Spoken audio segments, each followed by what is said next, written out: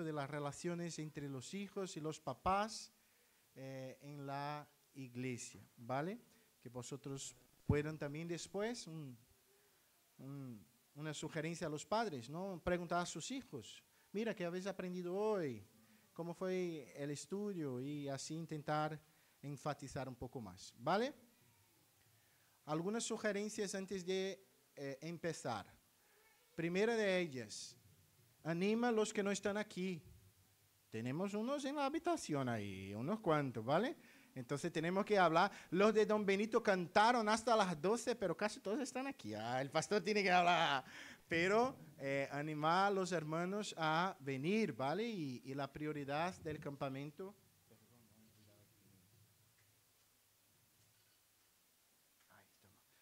Y recordar que la prioridad del campamento es aprender más del Señor. Lo que viene después es disfrute, ¿no? Descansar, jugar, pero estamos aquí para aprender más del Señor. Vale, el tema de nuestro campamento son relaciones relevantes en un mundo sin esperanza, ¿vale? Ayer hemos estudiado, empezado a estudiar qué texto? 15. Juan 15, ¿vale? Eh, a lo largo de estos tres encuentros. Este es el segundo. Mañana la dinámica será un poco distinta, pero el jueves tenemos todavía uno más. Vamos a exponer todo el capítulo 15 del Evangelio según San Juan a la luz de la idea de relaciones, ¿vale? Ayer hemos hablado de la perspectiva vertical, de la relación entre nosotros y, y Dios, ¿vale? Acordaos, hemos hablado ayer primero de la necesidad de fructificar, o sea, que si tenemos una relación con Dios, si estamos en la vid verdadera, vamos a fructificar. Esto fue la primera cosa que hemos hablado ayer.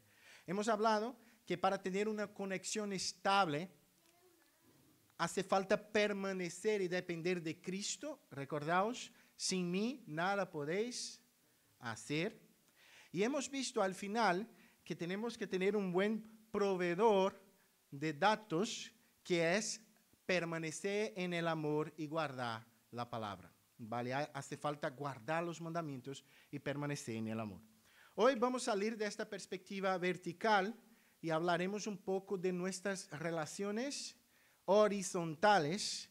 No hablaremos tanto de nuestra relación con Dios, pero el tema nuestro de hoy, si puede pasar la próxima pantalla, es nuestra relación con el prójimo. ¿Vale? Y vamos a hablar eh, básicamente de tres conceptos eh, que sería elegidos, amados y amigos. Elegidos, amados y amigos. Nuestra relación con el prójimo a la luz de Juan 15 del 12 al 17. Si puede abrir tu Biblia, porfa. Vamos a continuar el texto de Juan 15, pero ahora nos toca del versículo 12 al versículo 17. Juan 15 del 12 al 17. ¿Todos habéis encontrado? ¿Sí? Este es mi mandamiento, que os améis uno a otros como yo os he amado. Nadie tiene mayor amor que este, que ponga uno su vida por sus amigos. Vosotros sois mis amigos si hacéis lo que yo os mando. Ya no os llamaréis siervos, porque el siervo no sabe lo que hace su Señor. Pero os he llamado amigos, porque todas las cosas que oí de mi Padre os la he dado a conocer. No me elegiste vosotros a mí, sino que yo os elegí a vosotros. Y os he puesto para que vayáis y llevéis fruto, y vuestro fruto permanezca, para que todo lo que pidiereis al Padre en mi nombre, Él os lo dé. Esto os mando, que os améis unos a otros. Vamos a orar al Señor. Padre, te doy gracias por tu palabra y te pido, Señor, háblanos. Somos tu grey, somos tu pueblo, somos tu rebaño. Ayúdanos a comprender tu palabra. Alumbra mentes y corazones para creer en tu evangelio. Que aquellos que ya creen en ti puedan amarte más y aquellos que no te conocen puedan conocerte. En nombre de Jesús. Amén. Hoy, en nuestro segundo mensaje, hablaremos entonces de esta perspectiva de las relaciones horizontales, ¿no? Si fuimos amados por Dios y si tenemos una relación con Dios, seremos llevados también a tener un tipo correcto de relación con el prójimo. Y me gustaría introducir el tema hablando de algo que tiene que ver con este aspecto de las relaciones interpersonales, que es, eh, volviendo ahí al universo de la Internet, pero ahora no de la Internet en sí, pero la idea de las redes sociales. ¿no? Las redes sociales eh, es algo que cambió de alguna manera nuestras relaciones interpersonales, para lo bueno y para lo malo también. Yo me acuerdo, no hace tanto tiempo, el pastor Walter y Sueli ya tiene ahí 20 años fuera de Brasil con misioneros. 19. Kelly y yo, mes que viene cumplimos 10. Y yo me acuerdo que cuando me fui a Rumanía por primera vez con misioneros, eh, no tenía redes sociales. Básicamente estas, por ejemplo, WhatsApp, estas cosas no tenía. Y yo me acuerdo, por ejemplo, de yo enviando fotos a mi padre yo sacaba la foto con una cámara digital, que ya era digital, y enviaba por correo electrónico la foto, yo me acuerdo haciendo esto con el piso que íbamos a alquilar. Hoy en día, uno saca la foto, envía a todo el mundo en su propia mano. Las redes sociales surgen con propósito eh, al principio de reconectar personas que de alguna manera habían perdido el contacto, la relación. La primera red social surge en 97 que era Six Degrees, que llegó al máximo a tener 3.5 millones de personas conectadas. Pero después, en los años 2000, y ahí ya entra algunos de nosotros con más frecuencia, surgieron, por ejemplo, MySpace Orkut, que era una red muy, muy común, y ahí sí se llegó a un montón de gente. Para que tengas una idea, en España, 47% de la población, esto es un dato de 2022, está conectada a alguna red social. Y 78% de los usuarios de redes sociales afirmaron que conectan por lo menos una vez al día en una red social. Los más mayores pueden decir, pare, no tengo esto. La verdad que la mayoría de vosotros sí que tiene, eh, pero por ejemplo WhatsApp, casi todos tenemos, ¿sí o no? Es una red social, ¿no? Se puede poner allí el estado. Yo he descubierto que tenía estado allí en, red social, en WhatsApp un día de este que yo he visto algo, hasta de Isa, que no sabía que tenía cómo poner esto allí también, porque es una red social, tú tienes personas conectadas a tu móvil. Pero también es verdad que algo que fue creado para conectar, muchas veces, ¿qué hace? Aleja. Muchas veces vivimos en un mundo virtual que no es real y de alguna manera no nos conectamos a nivel personal a causa de nuestros móviles, de nuestros ordenadores. Voy a dar un ejemplo. Ayer hablaba Pedro y yo, Vanessa y Kelly, los niños cuando hacen berrinche, por ejemplo, que los míos hacen con frecuencia, ¿no? Esto no se va a las redes sociales. Lo que se va a las redes sociales es cuando el niño está perfecto, si es hijo de creyente, con la Biblia abierta, oyendo el papá predicar y se va a la red social. Eh, y ahí se pone hasta el versículo abajo que al fin está alabando al papá enseña al niño el camino en que debe andar. ¿Qué estamos haciendo? Alabando a nosotros mismos. Yo soy un buen padre, pero cuando mi hijo está correteando, poniendo pata arriba el mundo, yo, esto no va. Y muchas veces esto produce una ilusión irreal en el otro. ¿no? A mí me gustaría tener esta vida. Y pasa tres meses, un matrimonio que se amaba a lo loco en internet se separa. Y nosotros nos creemos, pero ¿cómo es posible? porque era todo día mi amor, mi guapito, mi novio, el amor de mi vida y, chuchuchu, y después nada. ¿Por qué? Porque muchas veces esto es una vida irreal.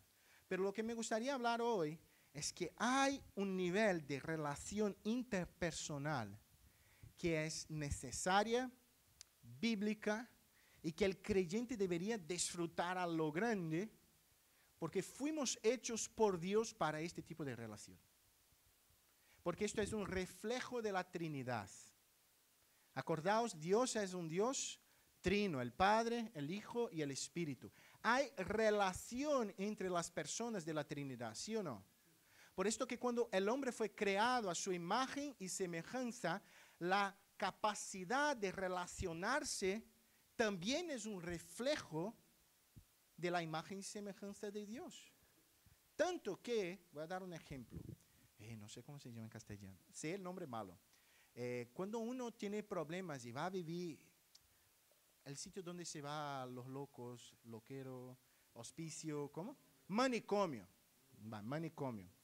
Eh, si uno va a vivir en el manicomio, ¿por qué? Porque perdió la capacidad de qué? De relacionarse de una manera sana con el universo, con la sociedad que está afuera. No sé si has visto eh, un, un, evento muy triste que pasó en España semana pasada con un chico en Toledo que quitó la vida de otro niño y tal, que estaba en un campo de fútbol y todo esto. Y el chico tenía 75% de discapacidad no tratada. Él había perdido la capacidad de relacionarse con el mundo y muchas veces esa persona necesita ser sacado. ¿Por qué? Porque hay, se perdió esta capacidad de relaciones interpersonales. Y hoy hablaremos qué enseña la Biblia acerca de esta relación interpersonal a la luz del texto de Juan capítulo 15 del 12 al 17 que hemos leído. Un poquito del contexto. El contexto ya tenéis en mente desde ayer, pero unas dos palabras tal vez sean importantes. Juan capítulo 15 es, hace parte del último sermón de Jesús antes de la crucifixión. ¿Vale? Y en el capítulo 15 Jesús utiliza de una imagen, de una alegoría, de una figura para enseñar la necesidad que tenemos de relacionarnos con Él, con el prójimo y con el mundo, que es la figura de la vid verdadera. Entonces, el contexto continúa siendo el contexto de la vid verdadera y de que uno es, hace falta, está conectado con Jesús para que se pueda entonces conectar debidamente con el prójimo. Esta es la idea. O sea, de, a causa de nuestra relación con, eh, puede, ah, ya está en la segunda pantalla, pero vale. Eh, a causa de nuestra relación con Dios, seremos llevados a una relación con el prójimo. Entonces, eh, el primer punto que me gustaría hablar, que ahora sí vuelve, vuelve, ya está dando spoiler, ya está dando lo que voy a hablar. Vuelve uno, vuelve otro. Vale, siempre que voy a pasar, te digo y pasamos. Entonces, eh, eh, el primer sería justo este, ahora puede pasar la pantalla. fuimos amados para poder amar. Mira lo que el texto dice el versículo 12. Este es mi Mirad la Biblia. Este es mi mandamiento.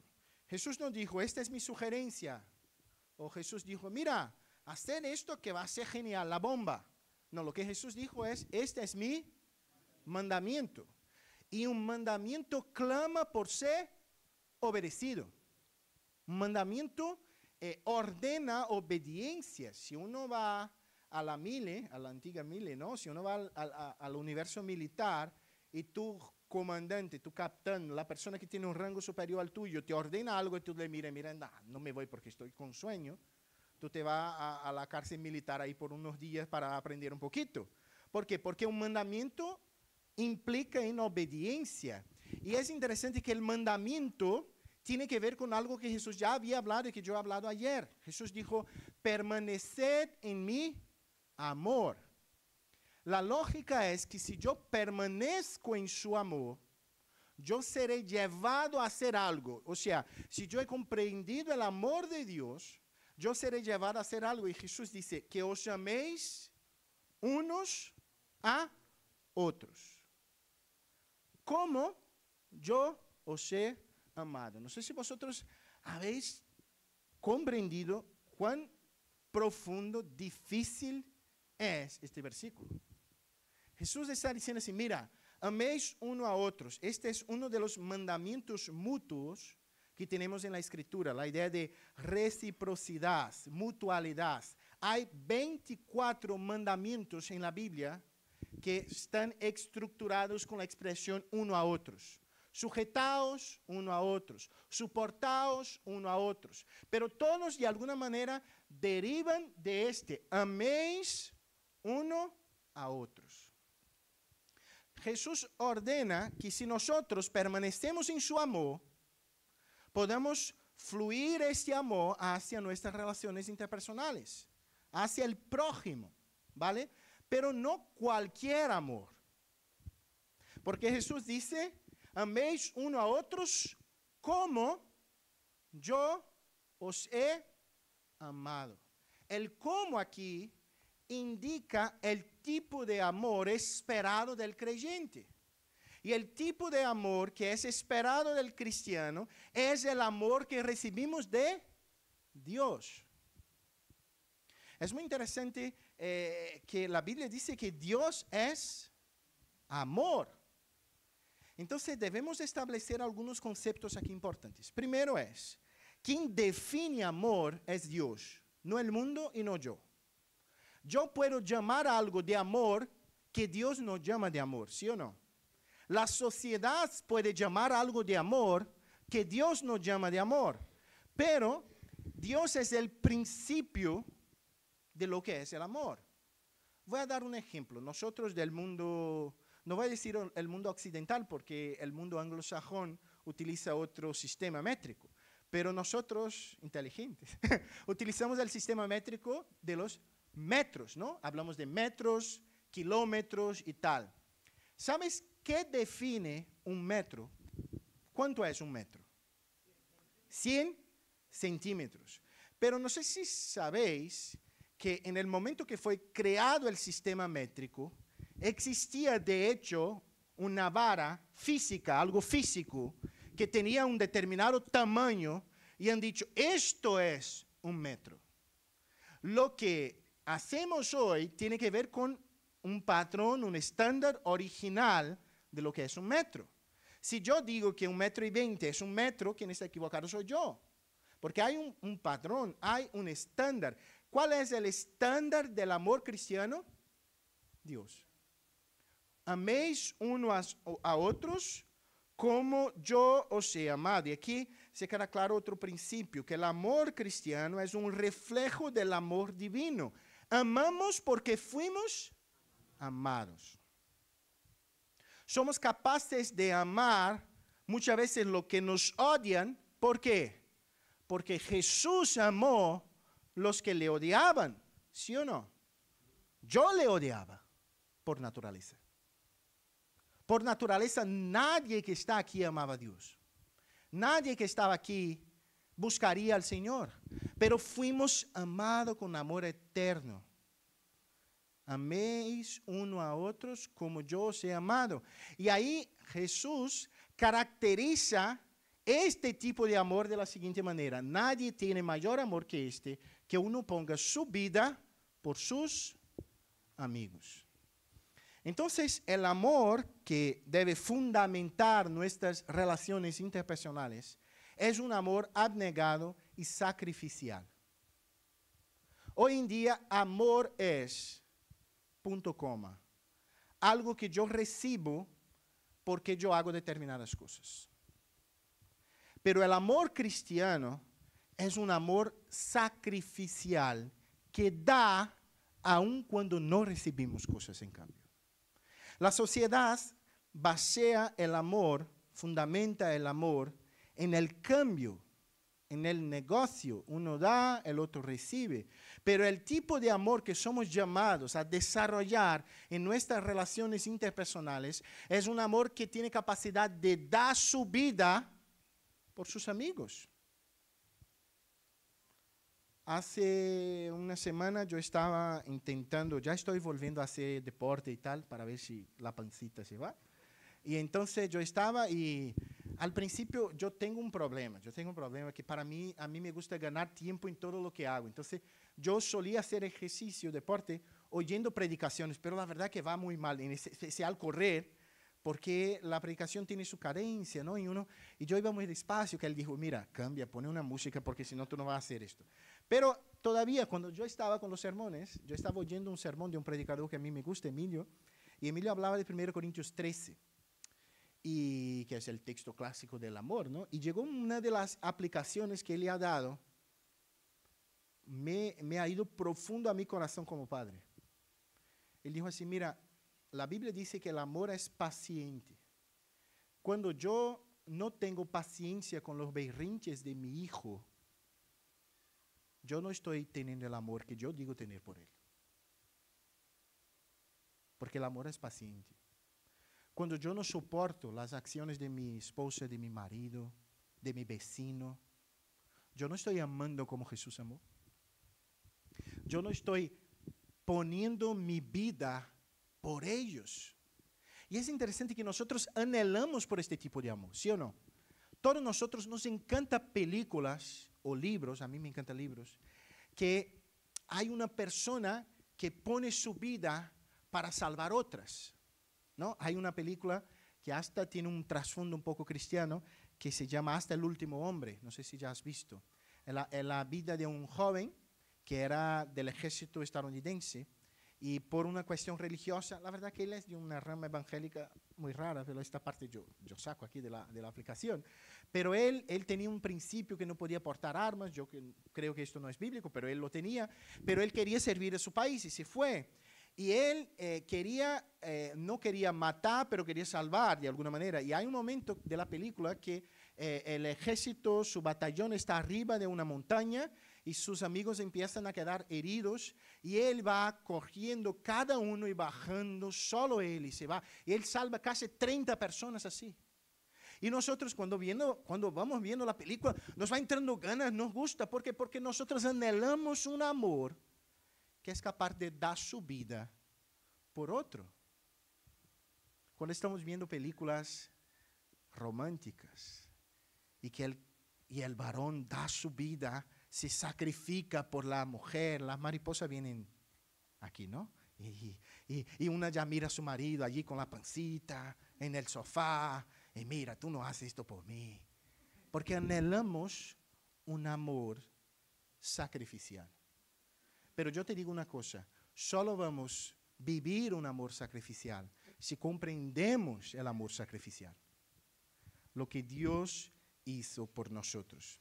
Y preparando este estudio, eh, me he deparado con una expresión del, del J.C. Ryle, que he citado ayer, era un pastor anglicano del siglo XVIII, y él dice algo muy interesante. Él dice así, la frecuencia con que se repite este mandamiento nos enseña la inmensa importancia del amor cristiano, así como lo mucho que escasea. Cuesta entender cómo, puede haber alguien que aspire a tener esperanza cristiana sin amor cristiano. El que piense que Dios le mira con buenos ojos porque su postura doctrinal es la adecuada, mientras que al mismo tiempo tiene un carácter áspero, malhumorado e irritable, demuestra una triste ignorancia de los principios básicos del Evangelio de Cristo. La irritabilidad, el rencor, los celos, la malevolencia y la aspereza general de muchos destacados profesantes de la sana doctrina son un escándalo absoluto para el cristianismo. Donde no hay mucho amor, no puede haber mucha gracia.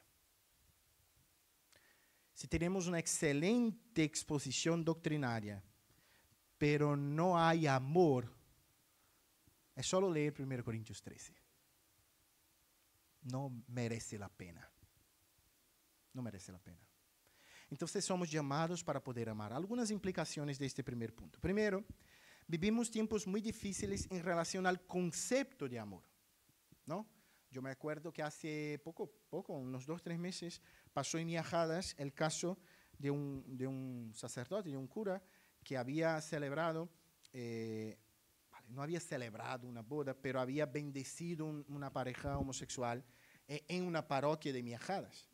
Y la verdad que esto fue una confusión y tal. Y cuando leemos la carta del obispado de Plasencia, que es Miajadas hace parte allí, y yo empecé a leer la carta, al principio yo me quedé, mira, ellos están siendo muy firmes, ¿no? Diciendo, pidiendo excusa porque hicieron mal y tal. Yo dije, mira, qué bueno.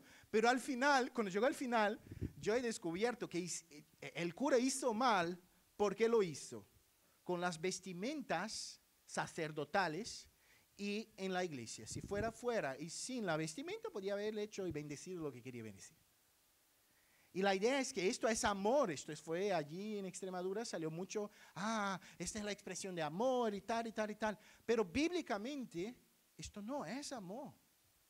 ¿Por qué? Porque quien define, acordaos del metro, quien define el amor es quién? Dios. Dios es la definición de amor. Entonces, primero debemos tener esto en cuenta. Segundo, hay una crisis en relación al amor mutuo. ¿Por qué? Eh, la gran mayoría de los divorcios en España, ¿sabe cuál es? La razón, la razón jurídica es incompatibilidad. Ah, no nos amamos más. ¿Y qué parece aquí? En esta frase amor es una emoción que yo tengo y yo no tengo. Pero bíblicamente el amor es mucho más una decisión, un pacto, un compromiso que simplemente una emoción. ¿Quién está casado aquí hace más tiempo? ¿Cuántos años? 47. ¿Cuántos años? 48. Ha ganado, ha ganado por una. 48 años. Si tú estás casado hace 48 años, tú sabes que tiene días que tú no te levantas por la mañana llena de amor y enamorada por tu marido el día que él hizo algo que no te ha gustado, se fueron a dormir mal y tal, pero tú tienes que amar. ¿Por qué? Porque la idea es que el compromiso, el pacto, la alianza es el guardián del amor, pero la sociedad piensa al revés, que el amor es que va a guardar el matrimonio. Y ahí cuál es el problema, porque tiene algunos días que la emoción no vas a tener. Esto es lo mismo en nuestra vida cristiana, esto es lo mismo en nuestras relaciones con nuestros vecinos, con nuestros parientes. Tenemos algunos madres y padres y hermanos que son complicados, ¿sí o no? Pero tenemos que amar uno a los otros como Cristo nos ha amado. ¿Y como Cristo nos ha amado? Poniendo su vida por nosotros. Puedo decir sin duda que es este tipo de amor que cambiará el mundo y nuestras relaciones interpersonales, queridos. Cuando amemos como Dios nos amó, ahí sí vamos a disfrutar de una revolución en nuestro hogar, en nuestras iglesias, en nuestro barrio, porque vamos a poner en práctica el principio bíblico de amar porque fuimos amados.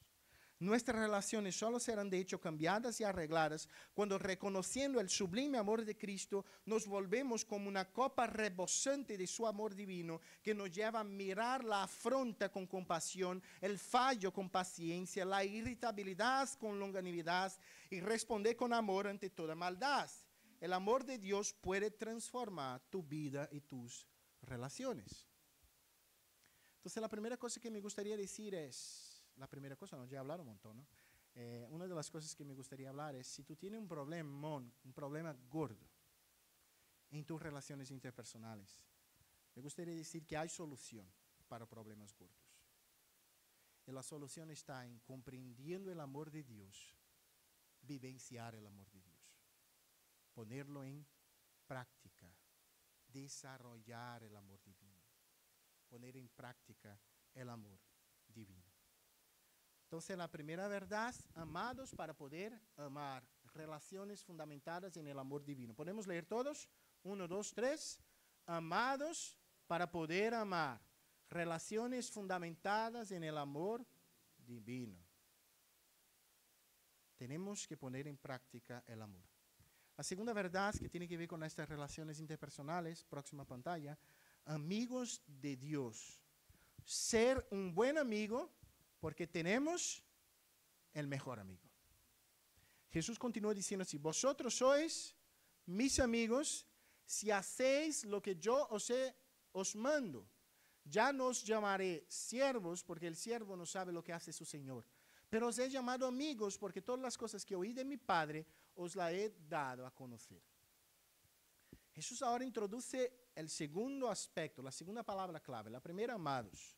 La segunda, amigos. No sé eh, si, si pillas cuán sorprendente es esta verdad. ¿Por qué? Primeramente porque el estado natural del hombre sin Dios es la enemistad. ¿Vale? La Biblia dice que por naturaleza somos amigos de Dios. Por naturaleza somos, ¿qué? Enemigos de Dios. Y querido, es muy difícil amar quien te ha hecho malo, ¿sí o no? Es muy difícil.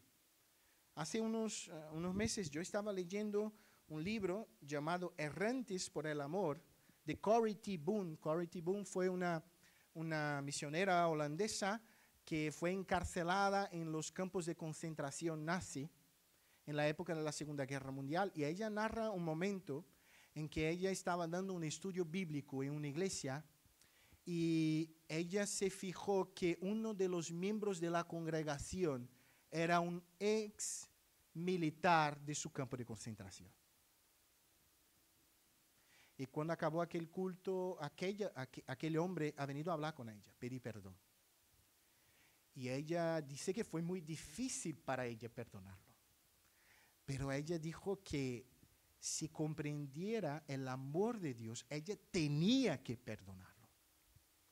Por esto que Jesús dice algo muy interesante. Jesús habla que el divorcio es lícito en dos ocasiones. Jesús habla de una y Pablo añade otra, ¿no? Una es el adulterio y moralidad sexual. Jesús lo dice.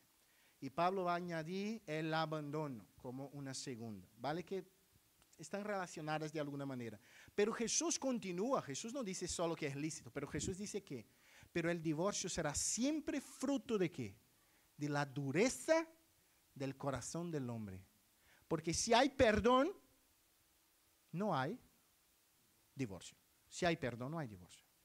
No estoy hablando si es lícito o no. Jesús dice que hay casos que son lícitos. Pero Jesús dice que aún en los casos que son lícitos, si hay perdón, no hay divorcio. Pero es difícil. Y aquí Jesús habla así, Jesús llama a los enemigos de amigos. Queridos, esto es revolucionario. Ya vosotros sois mis amigos. Y ahí el texto dice, si hacéis lo que yo os mando. Cuidado, porque tenemos eh, la costumbre de leer la frase, si hacéis lo que yo mando, como causa de vosotros sois mis amigos. Y muchas veces pensamos así, somos amigos porque hacemos lo que Él manda. Pero en el griego, esta partícula sí es, un, eh, es una partícula que no es, es condicional, no es causal. O sea, eh, esto es consecuencia de esto. O sea, somos amigos y porque somos amigos, hacemos lo que Él nos manda. No somos sus amigos porque hacemos lo que Él nos manda. ¿Sabe por qué? Porque no podemos hacer lo que Él nos manda por nuestra propia naturaleza. Solo hacemos porque Dios nos cambia. Y la imagen bíblica es muy fuerte, ¿no? La imagen bíblica no era que yo estaba enfermo y Jesús me sanó. La imagen bíblica es que yo estaba muerto. ¿Ya has visto un muerto en el ataúd levantar la mano y decir, mira, no me ha gustado esta, esta corona de flores, cámbialo, porfa? ¿Has visto? Yo nunca. Porque muerto no tiene voluntad. Por esto que la imagen bíblica es de vivificar, regenerar, dar nueva vida. Y ahí sí, somos amigos, ¿Y por qué somos amigos? Hacemos lo que Él manda. Luego, hay un principio muy importante aquí. Si tenemos el orgullo santo de decir, soy amigo de Dios, tengo que tener el compromiso de hacer lo que Él me ha mandado. Vosotros sois mis amigos y hacéis lo que yo os mando. Y aquí Jesús hace un contraste entre ser siervo y ser amigo. Ya no os llamaré siervo, porque el siervo no sabe lo que hace su Señor, pero se llamado amigo. Primero, hay que llevar en cuenta que continuamos siendo siervos, ¿sí o no? Claro. En el mismo contexto de este sermón, capítulo 13, Jesús nos llama siervos. Entonces, ¿qué Jesús quiso decir cuando dijo, ya no soy siervos, sino que sois amigos? Jesús explica. El texto dice, ya nos he llamado siervos porque el siervo no sabe lo que hace su Señor. Pero os he llamado amigo porque todas las cosas que oí de mi Padre os las he dado a conocer. Somos amigos en este contexto específico a causa de algo. Un siervo, cuando recibe un orden, no recibe explicaciones. Vete y hacedlo. Y ya está. Tiene que hacer. Yo soy siervo, la palabra griega doulos es la palabra para esclavo, es una palabra muy fuerte. Imagínate un esclavo que dice a su señor, mira, no quiero hacer. No, un siervo tiene que hacer. Pero no somos tan solo siervos, ¿sabe por qué? Porque Jesús hace con nosotros algo que un Señor no hacía con un siervo. Jesús da explicaciones. Jesús enseña, revela cosas que no lo hace un siervo. Nosotros somos amigos no porque Jesús dejó de ordenarnos cosas, sino porque Jesús nos explicó cosas, nos confidenció cosas. Jesús eh, eh, nos dijo cosas explicándonos el porqué o algunos de los porqués que debemos hacer algunas cosas. Entonces, de alguna manera, somos amigos de Dios y la expresión máxima de esta amistad es el hecho de que Jesús nos ha revelado su voluntad. Todas las veces que tú te sientas sin amigos, mira hacia una Biblia y recuerda que Dios te llama amigo porque Él te ha revelado su voluntad. Él te ha dado a conocer secretos, anhelos, cosas muy profundas y hermosas que están en las escrituras. Y Él lo hizo esto contigo, no solo dándote un libro, sino que alumbrando tu mente y corazón. A mí me gusta mucho cuando voy a predicar orar por esto. ¿Sabe por qué? Porque yo puedo al máximo llegar a tu cabeza, a tu mente, pero yo no puedo llegar a tu corazón.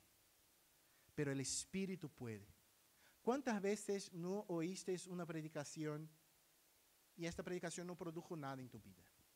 Pero hubo un día, un momento, un día en que tu mente fue abierta, sus ojos fueron abiertos, tu corazón saltó de gozo y tú has contestado con fe el mensaje del Evangelio. Entonces, queridos, si queremos ser buenos amigos, necesitamos comprender nuestro mejor amigo que es Jesús. Yo sé que hay un debate y yo no voy a entrar en este debate, pero me gustaría fijar, eh, hablar de algo. No hay esta serie ahí de Chosen y tal, hay un, debate teológico sobre si se puede o no tener un personaje, un actor que hace Jesús, si quebranta o no el segundo mandamiento y tal. Yo creo que no, después te explico por qué yo creo que no, pero me encantó un aspecto de, este, de esta serie, que es la característica de Jesús como un amigo, como, como alguien que se sienta contigo, habla contigo, sonríe de, las cosas, eh, se va a una boda y se, y se goza con los que allí están. Queridos, fue tan bueno, ¿no? Ayer estábamos allí delante de los de los de Getafe que querían dormir cantando músicas que yo nunca había oído en mi vida, porque uno venía y, Mago de Oz, y Rosa de Sarón, y Rosa de los Vientos y tal, y yo cogía la guitarra y cantaba un montón de cosas que no sabía y tal, pero esto es amistad, es sonreír con las cosas, es estar en la misma página y tal. Jesús es nuestro amigo. Jesús es nuestro amigo. Jesús es alguien que tiene intimidad con nosotros. Y esto es revolucionario, querido. Esto es revolucionario. Y seremos buenos amigos si comprendemos que Él es nuestro mejor amigo. Algunas implicaciones de esta segunda parte. Primeramente, una de las maneras más claras de la Biblia de describir la condición humana es por medio del principio de la enemistad y de la amistad. Pues,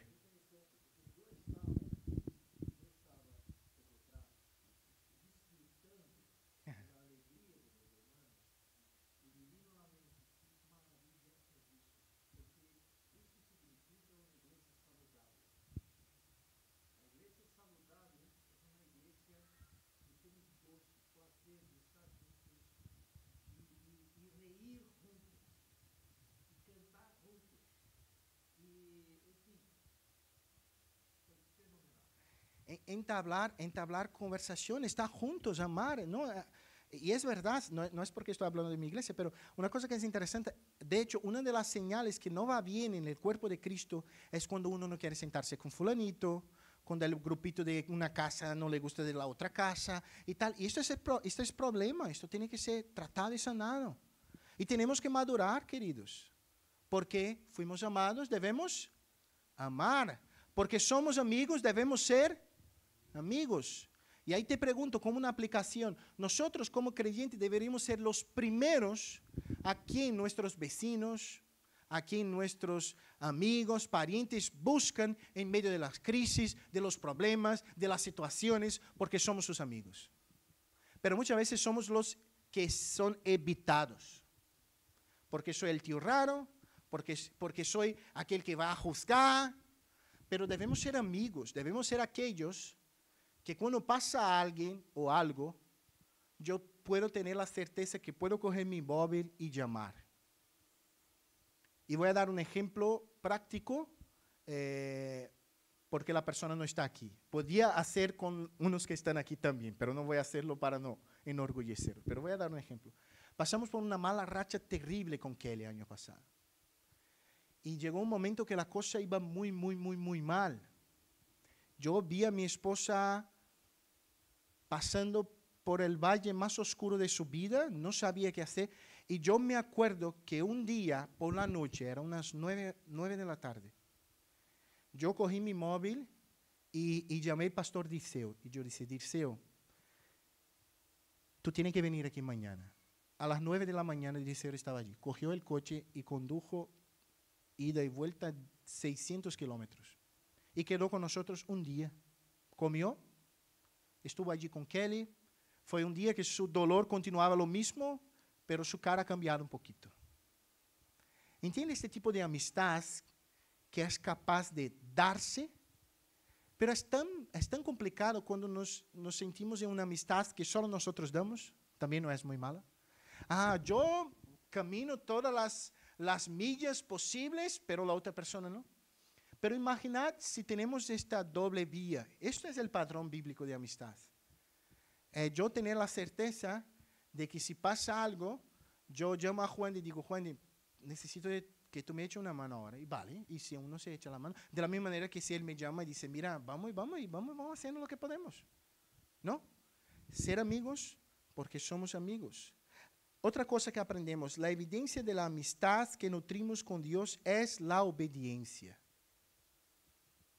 Sois mis amigos y porque sois mis amigos, haced lo que yo os mando. Si decimos que somos amigos de Dios y no hacemos lo que Él nos manda, la lógica es que no somos tan amigos de Dios así. Porque ser amigo de Dios es obedecerlo, implica en obedecerlo. La prueba de que Dios nos ha hecho amigos es la revelación de su voluntad. Y yo te digo, ¿qué estamos haciendo con la prueba de que Dios es nuestros amigos? Es, Dios es nuestro amigo, que es su palabra. Leemos, nos dedicamos, a conocer su voz, a conocer su voluntad. Con los 48 años de matrimonio, 47, yo tengo certeza que Andrés Asala eh, se a Salvador. En algún momento de sus vidas le han escrito cartas de amor. Andrés era conductor, no sé, de, de, camión y tal. No sé si Sara algún día eh, le escribió una cartita, puesto ahí su maleta para que cuando él estuviera allí, en una gasolinera, en medio de nada, ah, abrió y ha visto una cartita de su esposa y tal. Esto es algo que anhelamos, que guardamos, que queremos, que, que deseamos. Y ahí Dios nos da su voluntad, una carta de amor bella y hermosa, y no la leemos.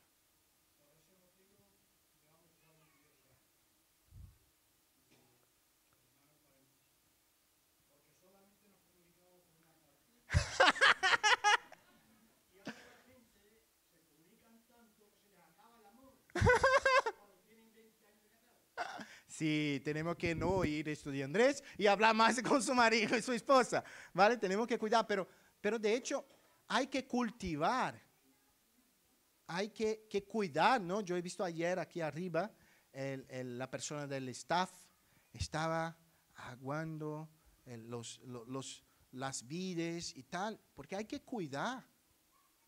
Hay que cuidar de nuestras amistades también. Hay que cuidar de nuestros matrimonios. Hay que cuidar. Si tenemos el mejor de los amigos, deberíamos ser lo mejor de los amigos.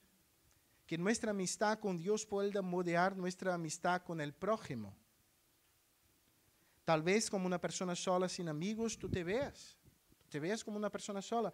Pero yo te digo una cosa. Si tú tienes a Cristo, tú tienes el mejor amigo que uno podría tener.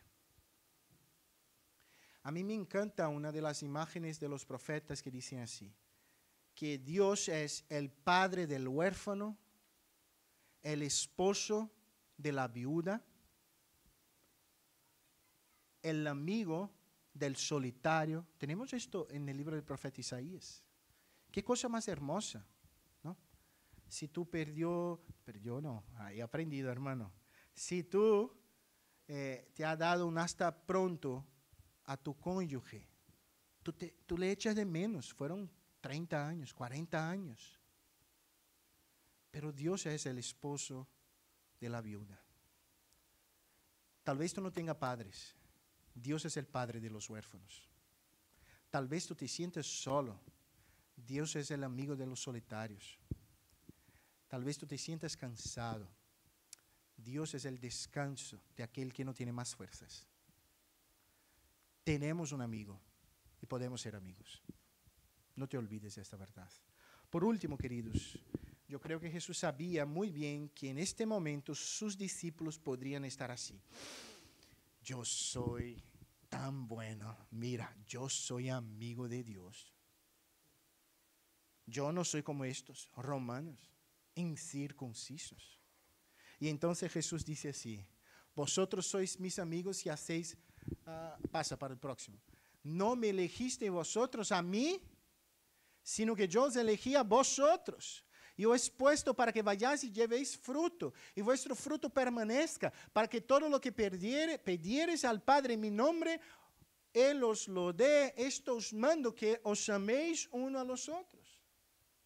Es muy interesante, Jesús dice, es verdad, fuisteis amado. Es verdad, sois amigos.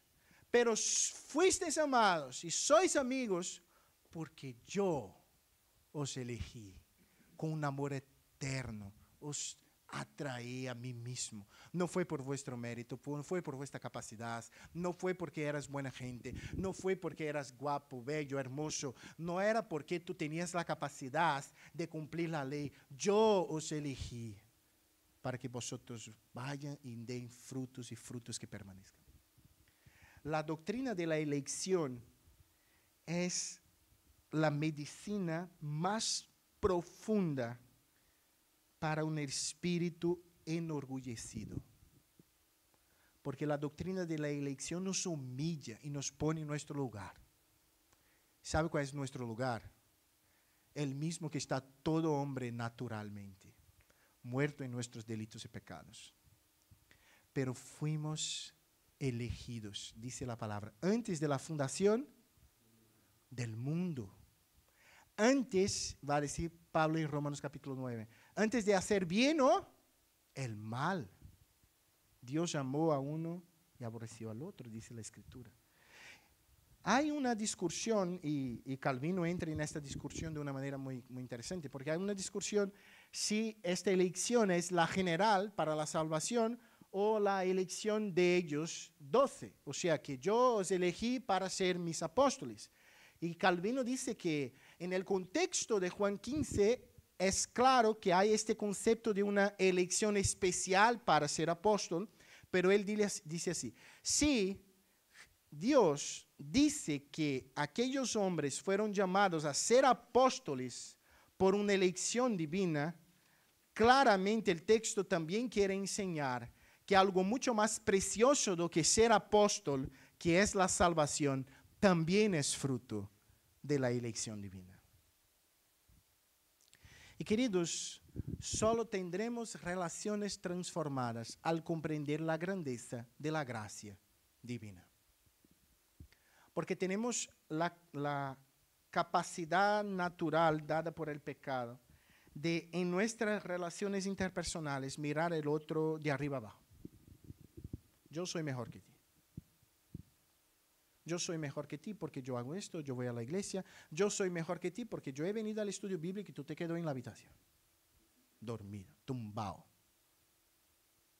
Deberías estar aquí, es verdad. Pero lo que el texto bíblico está diciendo es que si yo reconozco que lo que tengo es por gracia, favor inmerecido, esto cambia la manera como yo miro a mi cónyuge, ¿sí o no? Claro que sí. Esto, mira la, esto cambia la manera como yo miro a mi vecino, mi amigo del cole. Claro que sí, porque yo sé que lo que tengo lo tengo por gracia. Hay una frase de Calvino que a mí me encanta. Calvino dijo así, todo lo bueno que ves en mí es Cristo, todo lo malo soy yo mismo. Todo lo bueno que tú ves en mí es Cristo. Todo lo malo es Gabriel. La elección nos pone en nuestro lugar. Entonces, mis hermanos, Jesús dijo, no me elegiste vosotros a mí, sino que yo os elegí a vosotros.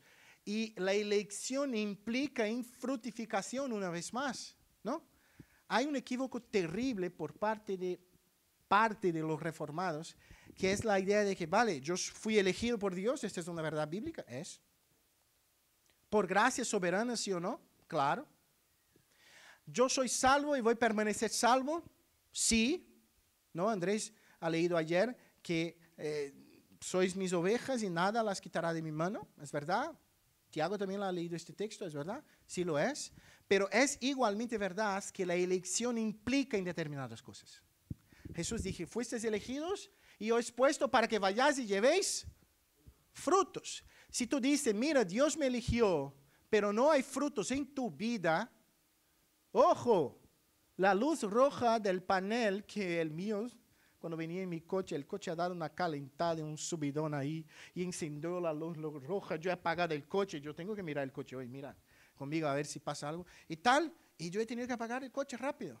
Yo te digo una cosa, si tú tienes mucho orgullo de decir, mira, yo creo en la doctrina de la predestinación, yo creo en la, elección incondicional, yo soy calvinista de cinco puntos, presbiteriano, pactual, he bautizado a mis niños, todo lo que tiene que hacer, pero no hay frutos en tu vida, ojo, la luz roja está encendida, porque fuimos elegidos para la fructificación. Jesús está diciendo esto. Yo he expuesto para que vayáis y no llevéis un poquito, llevéis fruto y vuestro fruto que permanezca. Muchas veces tenemos la ilusión de tener iglesias muy llenas y tal, y yo creo que es sano tenerlo. Yo creo que Ignacio lo tiene, Walter también lo tiene. El deseo de nuestras iglesias crecer, pero una cosa que yo tengo aprendido es que eh, eh, el impacto en una vida, en una vida, en una, merece la pena toda una vida, todo un ministerio.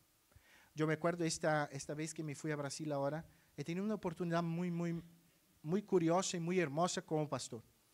Yo fui a predicar en una iglesia que era una iglesia nueva, que era parcera nueva de nuestro ministerio. Nunca había ido en esta iglesia. Pero era una iglesia que estaba en una zona donde algunas familias que yo pastoreé estaban viviendo ahora. Yo fui pastor en una iglesia en, en São Paulo y suele pasar algo en São Paulo. São Paulo es una ciudad muy grande. Imagínatelo, 22 millones de personas en una ciudad, mitad de España en una ciudad. Entonces es común que la gente que vive en São Paulo se va alejando de São Paulo. Se busca sitio en una ciudad que está más cerca, tal, y yo fui pregar en una ciudad llamada Jundiaí. Me fui predicar en Jundiaí. Y yo estaba allí, estaba en la casa de un anciano, de un presbítero que fue eh, pastoreado por mí en la época que estaba en São Paulo. Tal. Y cuando me voy a la iglesia, me voy a predicar, yo voy a entrar en la iglesia dos familias que yo pastoreé que no sabía que iban a venir al culto. Y entraron los dos. Uno de ellos era pastor, pastor Salvador y, su hijo. Y entraron, yo no sabía, me quedé muy sorpreso y tal, contento. Acabó el culto, nos fuimos a comer algo, un, bocadillo allí. Y su hijo, que era Watson, este mi amigo, eh, está casado, tiene un hijo. Y cuando estábamos volviendo al coche, él llegó así, me ha dado un abrazo, miró a su esposa y a su hijo y me dice así, mira, esto que tú estás viendo aquí solo existe porque tú me has cuidado y me has aceptado en un momento de mi vida que nadie quería mirar para mí. Cuando yo llegué en, la iglesia donde yo fui pastor Watson, este niño, ya tenía unos 20 años. Él es hijo de pastor, pero estaba viviendo una vida loca, completamente loca drogas, alcohol, sexo y todo lo que tiene en el paquete. Y mirándole casado, con hijo, diácono de una iglesia, firme en el Evangelio, querido, esto merece la pena, esto merece nuestro sudor, nuestra lágrima, nuestro... ¿Por qué? Porque hay esta capacidad de invertir en vidas, frutos que permanecen, frutos que permanecen. Esto es muy importante. Y ahí el texto dice, para que todo lo que pidieres al Padre en mi nombre, Él os lo dé. Ojo, cuidado. Hay una idea uh, muchas veces común en nuestros círculos evangélicos que en nombre de Jesús es como si fuera abacadabra. Yo hablo lo que quiero y al fin pongo en nombre de Jesús. Y va a funcionar. ¿No? Muchas veces usamos esta idea. Ya he explicado mucho esto en la iglesia y voy a explicar un poco más aquí. La expresión en nombre de Jesús tiene que ver con que lo que estoy pidiendo a Dios lo hago como si su hijo pidiera en mi lugar. Nosotros, que vivimos fuera de país y tal, eh, como misioneros, por ejemplo, Walter seguramente tiene lo mismo. Cuando venimos aquí en España, tenemos que pasar a un notario y dejamos una carta de, de potestad que da derecho, por ejemplo, a mi padre, en mi caso es mi padre y mi hermano. Si, si ellos quieren sacar todo el dinero de mi cuenta, pueden.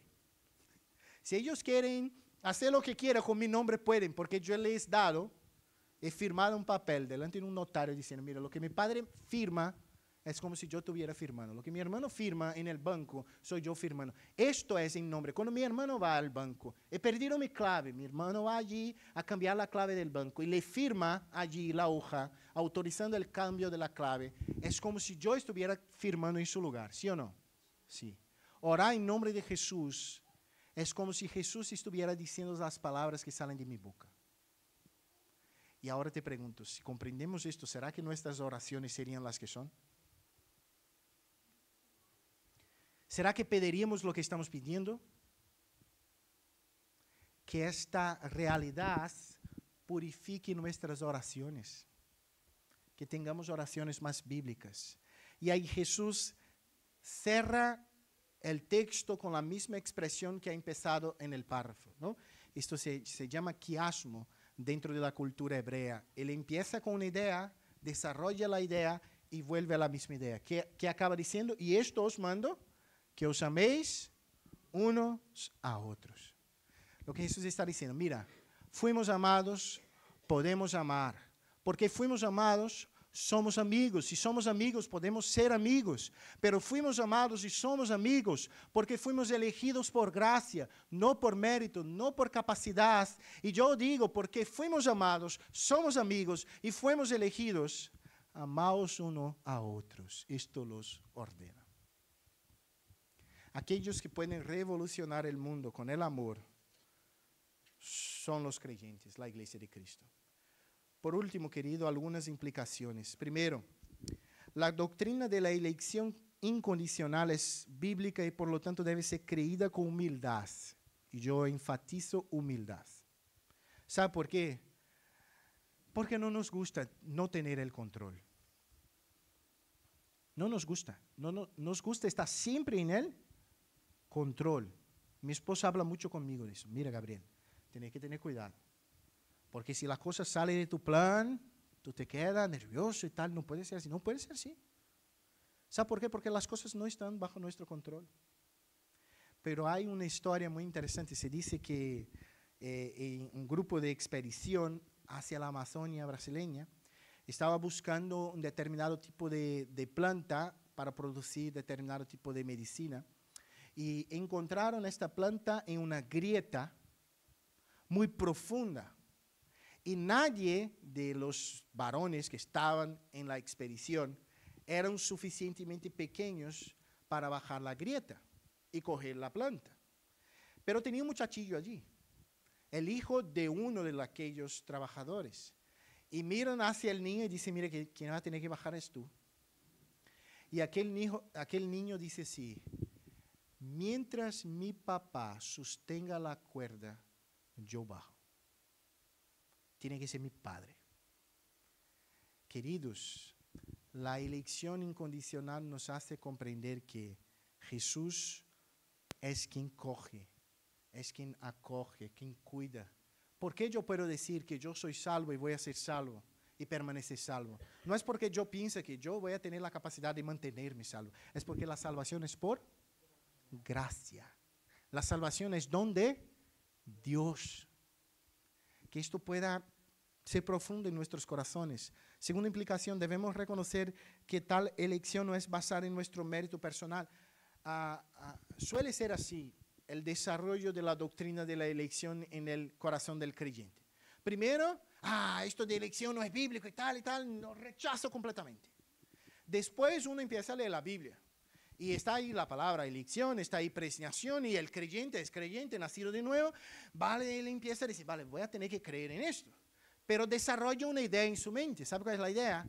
Mira, creo en la elección, pero Dios me eligió porque supe que yo iba a creer en Él.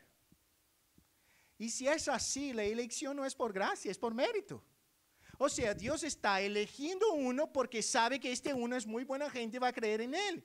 Esto no es elección bíblica. Elección bíblica es Dios en su libre y soberana gracia, amando a los que no son dignos de ser amados, eligiendo a los que no son dignos de ser elegidos, aquellos que eran enemigos, rechazados, desobedientes, miserables, siendo amados por el Dios que llama a las estrellas por su nombre, que es el principio y el final, que sabe y gobierna todas las cosas. Él nos eligió no porque nosotros íbamos a elegir a Él, pero nosotros fuimos hacia Él porque Él nos ha elegido. No podemos separar la elección de la santidad. Esto es otro punto importante, ¿vale? Hay otra, otra frase de Calvino que, que me encanta. Ya he visto que Calvino me encanta un montón. Pero esta frase es muy interesante. Calvino dijo así. Solo la fe justifica. Pero la fe que justifica nunca viene sola. Voy a repetir. Solo la fe justifica, pero la fe que justifica nunca viene sola. ¿Somos justificados por la fe, sí o no? Sí. Pero la fe que justifica viene con otras cosas. Viene con frutos, viene con pureza de vida, viene con cambios estructurales en nuestra vida. La elección tiene un propósito, la fructificación. La elección tiene un efecto directo en nuestras relaciones interpersonales, pues de alguna manera nos libra de tener una visión demasiado elevada de nosotros mismos. Tal vez la solución para tu matrimonio, la solución para tus eh, relaciones con tus amigos, con tu pariente, con tu madre, con tu padre, con tu hermano, es reconocer que tú eres igual de problemático, igual de malo, sin la gracia de Dios. Y si Dios te fue capaz de amar, tú eres capaz de amar como Él amó. Tú eres capaz de poner su vida por amor a Él. Cuando reconocemos nuestra pequeñez, nuestras dificultades, nuestros fallos, y aún así vemos que Dios en su gracia nos eligió, nos llamó, nos salvó, miraremos a nuestras propias relaciones interpersonales de una manera distinta y revolucionaria. Queridos, para concluir, me gustaría leer este pasaje más una vez de, Ryle. Estoy utilizando mucho Ryle porque él tiene una serie de comentarios sobre el Evangelio según San Juan muy bueno y estaba eh, eh, una ganga, como se dice en España, en Editorial Peregrino. Si quieres, yo creo que cada libro está a 3 euros, 4 euros. Y son tres volúmenes muy buenos de él. Él dice así, que esta expresión que tenemos ante nosotros sirva de ánimo a los creyentes para que tengan una relación familiar con Cristo en sus oraciones. ¿Por qué habríamos de sentir recelo a la hora de abrir nuestros corazones ante quien nos considera sus amigos? Que esto nos aliente en todos los dolores y sufrimientos de la vida y sirva para aumentar nuestra confianza en el Señor. El hombre que tiene amigos, dice Salomón, ha de mostrarse amigo. Ciertamente nuestro gran maestro en el cielo no desamparará jamás a sus amigos. A pesar de lo pobre y indigno que somos, no nos abandonará, sino que estará a nuestro lado y nos protegerá hasta el fin. David jamás olvidó a Jonatán y el hijo de David jamás olvidará a su pueblo. No hay nadie tan rico, tan fuerte, tan independiente, tan bien provisto como aquel de quien Cristo dice, este es mi amigo. No hay riqueza mejor que ser amigo de Dios. Tal vez tú hayas llegado aquí hasta estos días te sintiendo sin amigos.